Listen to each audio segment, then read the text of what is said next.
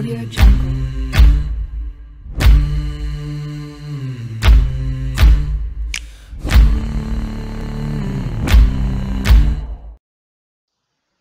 Hi guys and girls, welcome back to the channel and episode 7 of An Englishman Abroad, back in the Thai League with Buriram United. Just before we get into the action today, I want to give a quick shout out to Pisek Kits, who has designed our custom Buriram United 2021 home, away and third strips. If you need anything for your football manager needs, Pisek Kits can sort it just football manager graphics, custom club logos, bespoke kit collections for your save, whether it be real life teams as Buriram United or custom teams, fantasy teams, whatever you need, hit him up. I'll leave a link in the description below to his Twitter. Send a DM, you'll get first class service from a first class guy. Again, many thanks to Pisek Kits for our brilliant Buriram United 2021 jerseys. So, in the last video, we said we'd be skipping on and forward to today's two cup games. We play Chiang Mai United in the League Cup fourth round. We then go on and play the second leg of the Ulsan Champions League second round tie. Uh, from the first game there, we drew 2 2. We had a 2 0 lead in the first half, managed to blow that somehow by conceding two goals in the second half. Even played against 10 men for the last 10 minutes couldn't make our advantage of numbers count. We've continued our brilliant form in the league. We had a 9 0 FA Cup fourth round game as well, which was exciting. Hopefully, we haven't used up all of the goals in that game and we can continue some free flowing scoring, which resulted in us beating Chonburi 6 2 last time out in the Thai League. So, let's get into the first of the two games for today's video. So, we've gone full rotation for today's game in the cups. It's not really our priority. We want to get the League One and get as far as we can in that Champions League. So a bit of rotation here. This is the lineup that we've got. One player that stands out is Omar Damba up front. He's a free transfer signing that I bought in at the end of the transfer window. Haven't had a chance to register him for the first team, and I actually didn't realise he could play in cup games. So he's going to be making his uh, Buriram United debut today. Fingers crossed, he might show a spark up front because our forwards have not been the best in this save. It would be a nice surprise if we could uh, get one in. I've actually signed him before in saves for lower league teams, so I don't know what his standard is going to be like coming across to this league. Uh, I've played him in the Vanarama North, the Vanarama Conference, League One, at least so League Two and League One, and he did score goals in all of those. So I'm hoping if the League kind of compares to those, he might be able to do a, a, job for us. He has been kicking around in the reserves for a little bit, so he might not be at 100% match fitness, but I'm absolutely chuffed to be able to get him in the lineup today because I didn't realise that I could do that. So he's a welcome addition to the team. So we've got a corner to start, swinging in, it's headed out Kedic gets the ball, plays it in field, back out, some one twos, goes inside to Jaded, spreads the play out wide, comes in through the middle, have a shot, keeper gets down, turns it around for a corner for the first action. And from the corner it's swung in, Gallo picks the ball up, tries a wild shot that goes miles wide. Not too sure why he's just having a pop shot from there. Bit of a crazy one. We've got the ball now with Gallo, who's had another shot from outside the box. This time, luckily, it's on target, but straight at the goalkeeper, so nothing doing. Although after five minutes, having two shots on target is positive. I think Chiang Mai are actually in the division below us, so we are expected to win comfortably here, which was why we took the gamble with the Champions League game coming up to just fully rotate our squad. Got the ball now in the midfield. Gallo lays it off. Ball over the top to Damba. Can't get on it and it goes straight through to the goalkeeper. Who lumps it back up the field. Straight to our defence. Plays it forwards. Out to the wing. Gets to the byline. Instead of trying to pass or cross, it runs into the defender. And then out of nowhere, Thenorson has just hit a rocket from all of 30 yards, perhaps. One touch out to Gallo, back to him, touch out his feet, and bang, picked that out the net. That's a bit of a screamer. This kid might be one to watch actually as well. Played him in a game.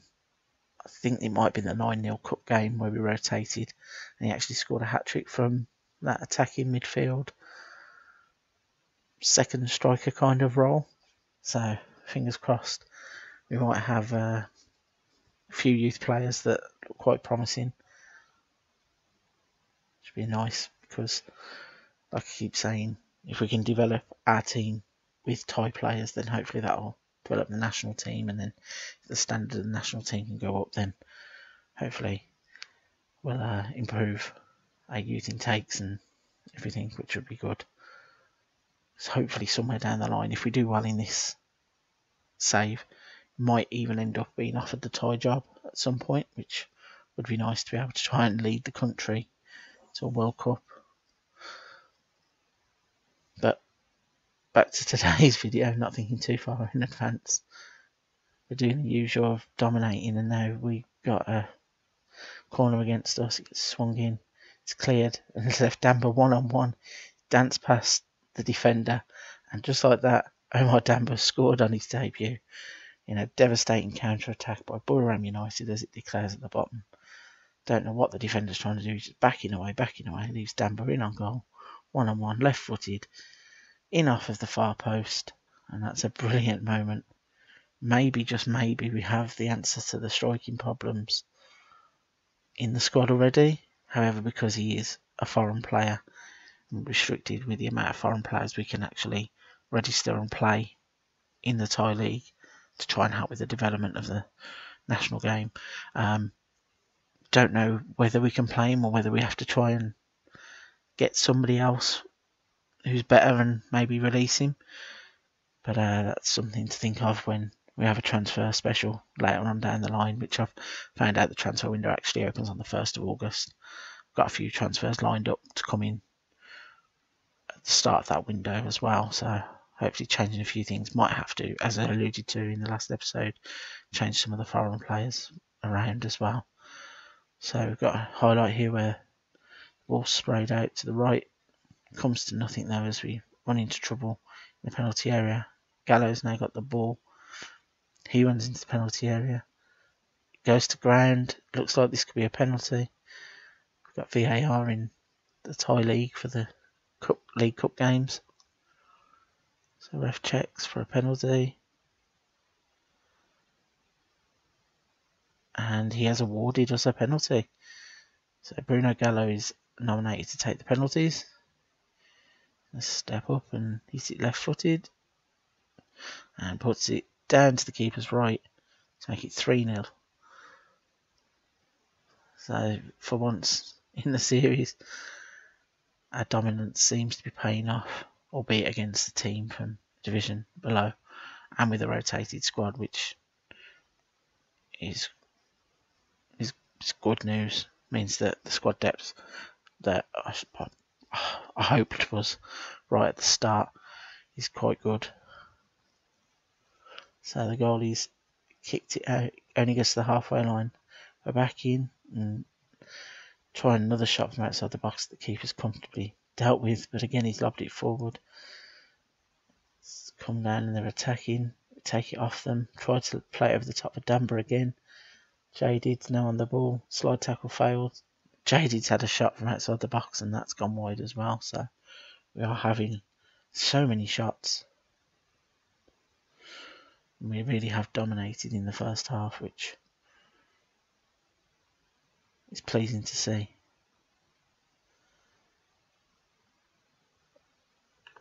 So we're not going to make any changes at half time. Don't feel the need to uh, do that. I don't know what my assistants just said there, but our players are all demotivated. Might not be a good thing.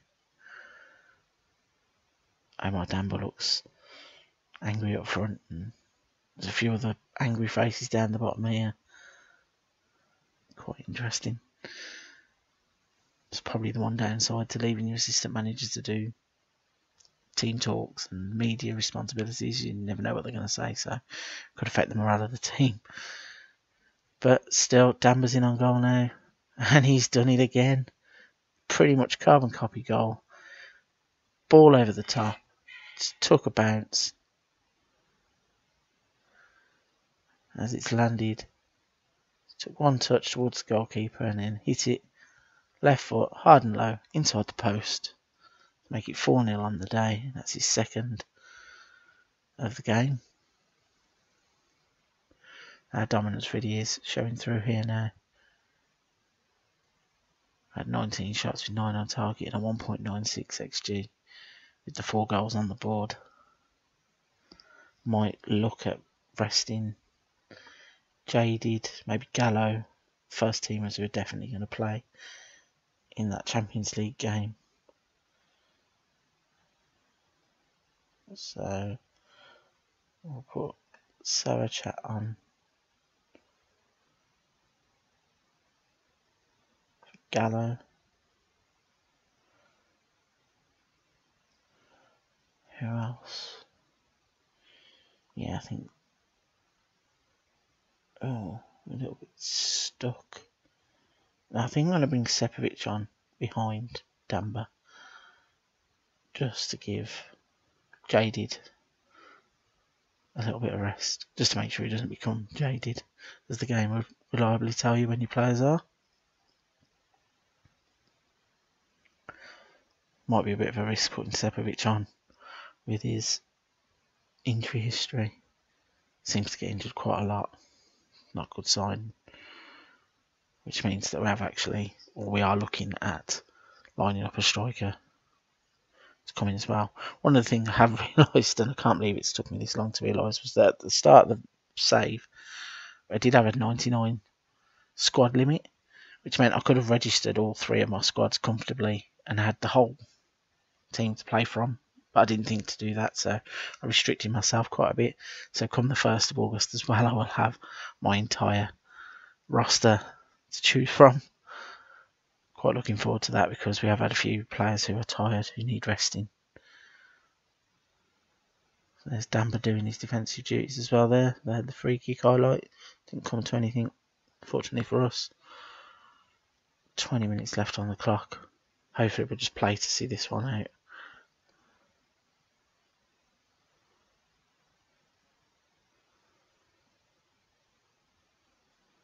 Might even drop back from an attacking mentality to a balanced, just to stop us overloading.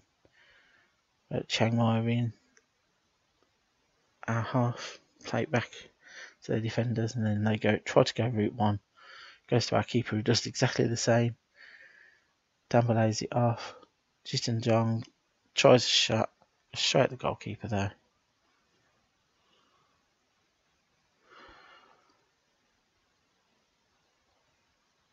Quite a lot of these chances are coming to nothing.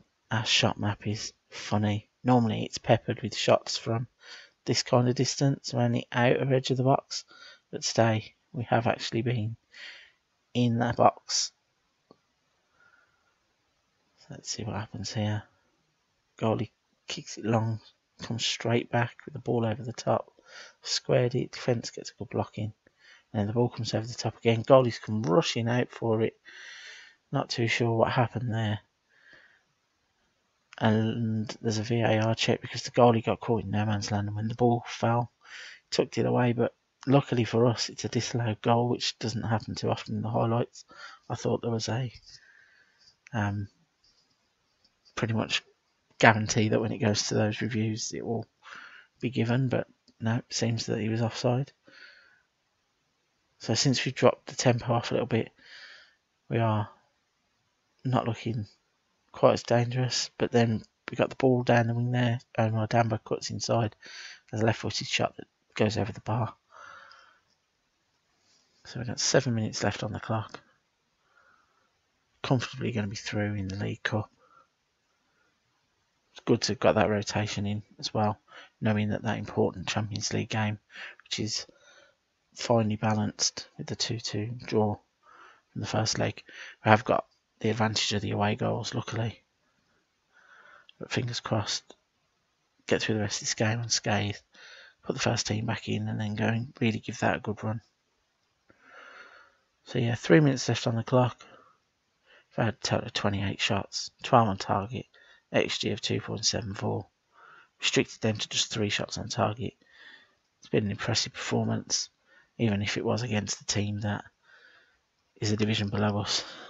And by looking at their formation, they've pretty much set up to counter attack, and we haven't really let them do that. So that's quite positive. So look forward to uh, seeing who we get in the next round of that cup. On the subject of cups, I'm gonna jump out here forward to the Champions League game, and then jump back in once we're ready to play that back in the. second. Okay, so jumped on forward to the Ulsan game. This is the team we're going to be putting out. We've got some of our first teamers back. Panya's back after his ankle ligament strain. Sepovic is going to go up front, although if he's not performing, might look at bring Jaded on midway through the game. Alalawi and Gallo in the middle. So back to strong first team lineup. Hopefully having that bit of rotation will help us with freshness because it's something we've been struggling with in the past couple of weeks. Partly my own fault because I didn't register up to 99 players that are good, which means that some players have had to have rests, missed training, and then some picked up injuries and knocks and that kind of stuff. So, season wear and tear. So, here we go, about to get Champions League second round knockout game, leg two, underway. The 2 2 draw from the first game. Hopefully, we can continue our dominant form from the past couple of games. We've got early clip here with Gallo pumping the ball out wide, get the ball into the box, and Mueanta took a shot low to the goalkeeper's left to score his 12th goal of the season. He's been one of the star performers of the save so far. It's a great ball inside. And first time, down low, beats the goalkeeper. He's one of the players though that has suffered quite a lot this season with the um, needing to be rotated. He's the one who's been away and had to rest up during the weeks. Can't do too much training. Can't play two games a week. Although at a young age, uh, I suppose those members of the squad who are young age, who have been first teamers, that is to be expected. Hopefully, being able to play in the two games a week. And as I'm talking, Marko Sepovic has scored to make it 2 0 in the home leg. We have a 4 2 advantage. And this is going very well in the first 10 minutes. But saying that, we had a two goal head start in the away leg too managed to fluff our lines, so fingers crossed we won't do that. But yeah, going back to Mueanta, his player is just needed looking after a little bit, and the younger players probably do. So fingers crossed, he'll, he'll develop. That stamina will come on as the game comes on. So here we go. Marko Sepovic got the ball, running at the defenders, crosses it in, but nobody in the box really. Bit of a hit and hope. It's come down as a shot off target, but I'd hope that was a cross because it's terrible if it was a shot. And the play rolls on. So in the first leg, like I said, we had the two goal head start in the first half and then things kind of fell apart. But here, Ulsan haven't got into the game really. They haven't found any kind of rhythm and we're the ones that are dominating. Although they have another clip as the ball comes in and it goes out of play for a goal kick. And we worried for a second. I thought that was just going to creep inside the post, but luckily the goalkeeper seemed to have it covered. So yeah, pretty much getting on top here. Possession state is pretty even, but our shots and shots on target are saying that we're good value for our two goal lead. Again, not even half time. Mueanta's looking like he needs to be changed. Panya, as I said, has come back as well from ankle ligament strain, so might have to keep a watchful eye on him. So far, after 36 minutes, it's nothing like the first leg where Ulsan were completely in the game all the way up until the end. But they have a throw in.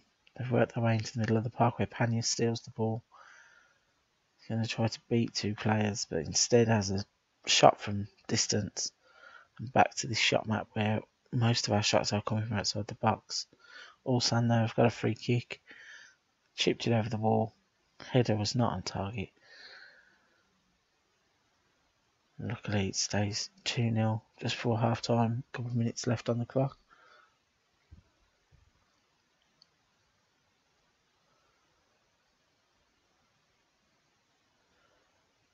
So, two added minutes. I'd say that's a pretty good first half performance. Got a two goal advantage, plus two goals from the away leg. Puts us in a really good position. Not going to make any changes just yet, even though Mueanta is the one I think I'm going to have to really look at soon. So, ball's pumped forwards from the goalie. Only goes as far as our defender who turns it around. Ball over the top from Wanta. Sarachat at the back post. Probably should have scored, but it was a great save by the keeper. And we've got a corner that gets swung in. Not very good. It's cleared away. They get over the halfway line. Alalawi jumps in there. That's a bit dangerous. He's already on a booking, so not liking the look of that. But we get away with it. Clip ends with them breaking up the touchline. So obviously didn't come to anything. I think we are going to make that first change. And I think not Sarah Chat. Mueanta's going to come off. Just look after him a little bit. Got a long way to go yet and don't really want to burn him out too quickly in the season. Don't really want to keep sending him away from training either, so hopefully in 45 minutes off, be alright. And we got a clip here where Panya broke down the right, crossed it in. Sepovic was there, but it was a good save by the keeper.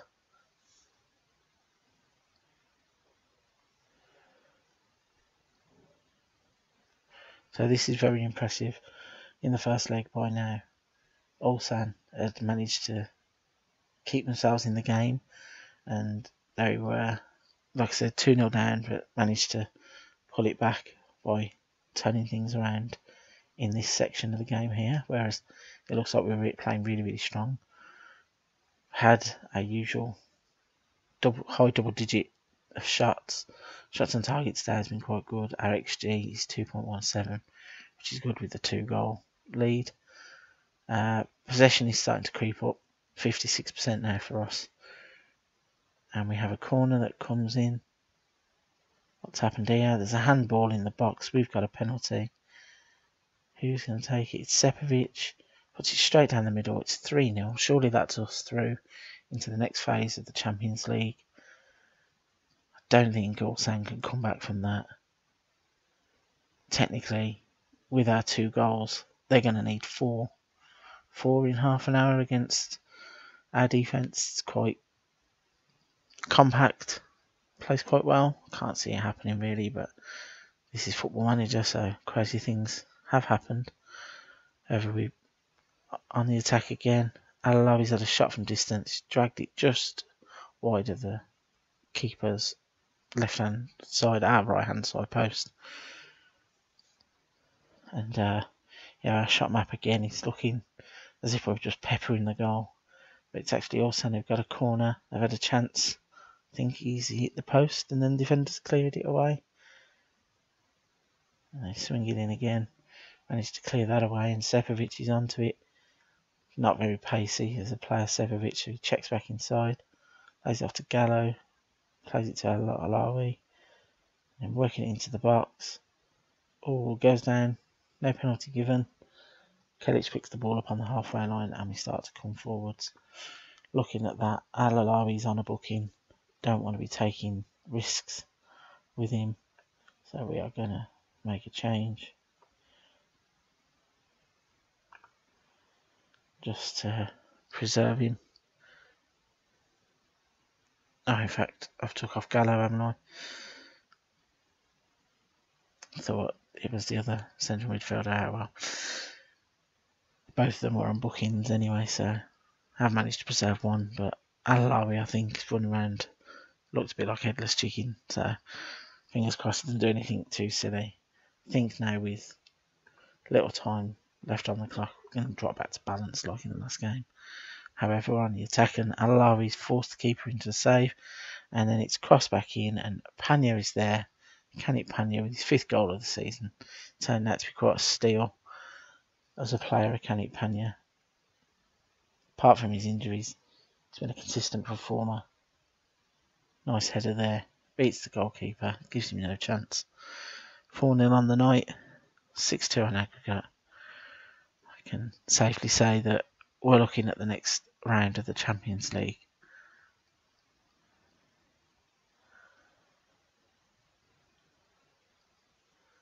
So 77 on the clock. Actually going to make one more change, I think. Yeah, we are going to bring Crayprom on.